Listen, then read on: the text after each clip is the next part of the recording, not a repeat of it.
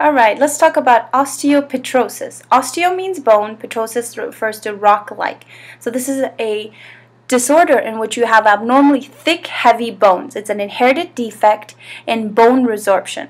Now, if you remember, bone formation is a balance between osteoblasts which lay on bone, and osteoclasts, which resorb bone. Now, this balance is constantly occurring throughout life so that you're always laying down some bone and always resorbing some bone. Now, a defect in bone resorption in which you're constantly laying down bone and laying down bone but can't resorb it results in an abnormally thick and heavy bone. Now, despite it being abnormally thick and heavy, it fractures easily. Think of it like a piece of chalk. A piece of chalk is thick but you can easily crack it. Now this disorder is due to poor osteoclast function.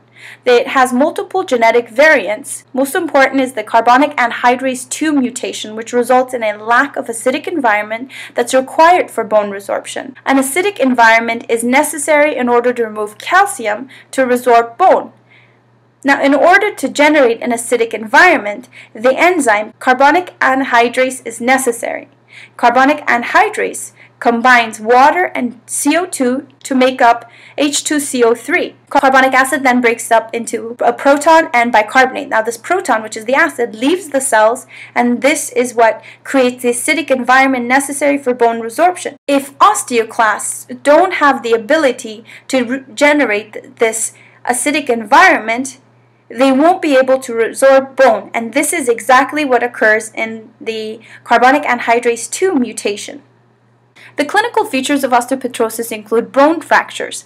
Now remember, although it is the bone is thick, it's going to be very weak, hence it's more prone to fractures. And this is because there is no proper balance between the osteoclasts and osteoblasts. And in order to make strong bones, you need to have a balance between the osteoclasts and osteoblasts.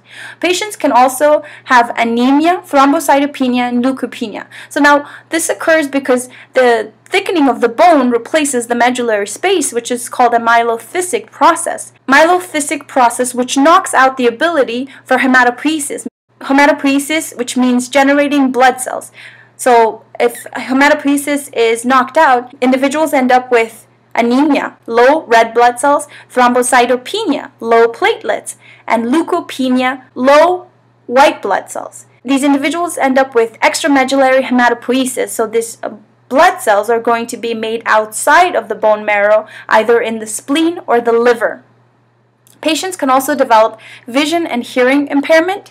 This is due to the thickening of the bone that compresses the cranial nerves as they try to exit the skull, and hence they end up with these impairments of vision and hearing. Patients present with hydrocephalus. This is due to thickening of the bone at the foramen magnum. Patients can also develop renal tubular acidosis. This is when patients develop metabolic acidosis within the blood due to a defect in the tubules. This is seen with a carbonic anhydrase deficiency. Tubular cells have the ability to take water and CO2 to make H2CO3 in the presence of carbonic anhydrase, which catalyzes this reaction. Now, H2CO3 breaks into H plus and HCO3 minus the hydrogen ion transfers into the lumen and joins with NH3 to form NH4. This is important because it can be excreted, getting rid of acid. When you get rid of acid, this results in a net gain of bicarbonate, which goes into the blood, maintaining pH of the blood. So it acts like a buffer. Now, if you don't have carbonic anhydrase, you won't be able to generate this acid, and therefore you won't be able to excrete this acid, and you won't be able to get the net gain of bicarbonate. So these individuals become acidotic. Now, what is the treatment of osteopetrosis? The treatment would be a bone marrow transplant. Now, you may ask, how would a bone marrow transplant help? Well, think of it this way. The problem in these individuals is that their osteoclasts are not functioning properly. Now, an osteoclast is a macrophage in bones, and macrophages are derived from monocytes. Monocytes are derived from the uh, hematopoiesis process. Hence, a bone marrow transplant will give this individual the ability to make normal monocytes, hence generating normal osteoclasts and taking care of the problem. In summary, Osteopetrosis is an inherited defect of bone resorption that results in abnormally thick, heavy bone that fractures easily. Now, this is due to poor osteoclast function. This may be due to multiple genetic variants, one of which is the carbonic anhydrase 2 mutation that leads to loss of the acidic environment that is required for bone resorption. Now, clinical features include bone fracture, anemia, thrombocytopenia, and leukopenia with extramedullary hematopoiesis due to the bony replacement of the marrow, which we said is called myelophthisic process. And these individuals present with vision and hearing impairment, hydrocephalus, and renal tubular acidosis, and the treatment is bone marrow transplant.